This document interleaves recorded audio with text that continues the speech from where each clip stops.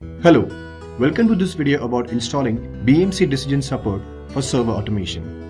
In this video, we will see how to install version 8.5 of BMC Decision Support for server automation on the Windows platform. The 8.5 release supports both GUI and silent installation. In this video, we will see how to install BMC Decision Support for server automation by using the installation wizard. After you extract the installation files, you need to double click the setup.exe file in the disk1 directory. The language selection screen appears. Select the installation language and click OK. On the welcome screen, click Next. Read the BMC end user license, accept the agreement and proceed. Now read the third-party software end user license agreement, accept the agreement and proceed. The directory selection screen is displayed. Here you can accept the default installation directory or you can specify a different directory in which to install the product. So one thing to remember, if you specify a different directory, you must specify an absolute path. If you specify a relative path, installation will fail. Click Next to proceed. The agent logs directory selection screen is displayed. You can accept the default directory or you can specify a different directory in which to store the RSCD agent logs. By default, RSCD agent logs are stored in the agent logs directory under the installation directory that you specified in the previous step. To proceed, click Next. In the database type selection screen, select the database type of your report server and proceed. If you have chosen Microsoft SQL Server, the installer validates whether the bulk copy program or BCP utility is installed. If the utility is not installed, the installer shows an error.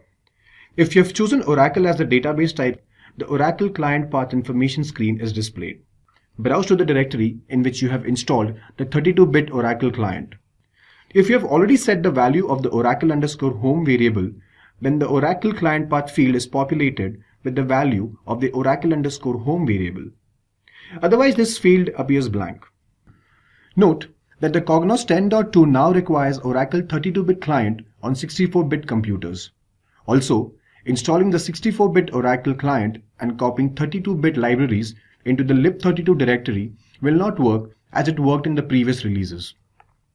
To proceed, click Next. The Cognos installer zip path information screen is displayed.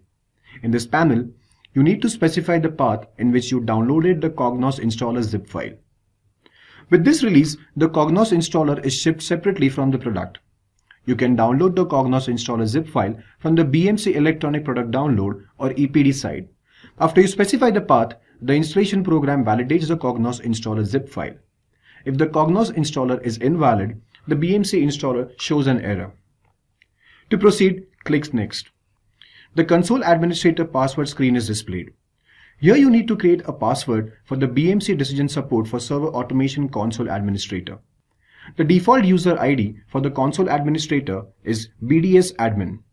You will also need to confirm the password. Make a note of this password. After the installation is complete, you must use the BDS admin user ID and this password to log on to the BMC decision support for server automation console to configure the product and perform administration tasks. After configuring the product once, you can change this password.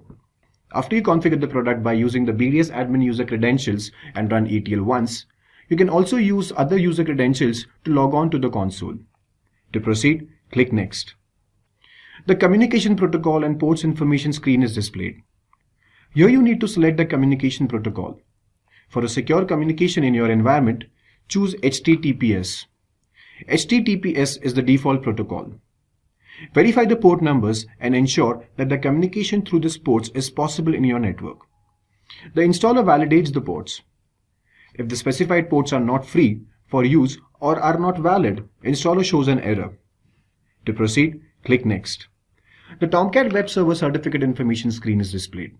In this panel, enter the information required to generate the HTTPS certificate and proceed. The Tomcat Web Server Memory and System Options screen is displayed. Enter the required information. The default values are recommended values. To proceed, click Next. And now, review the installation summary and click Install.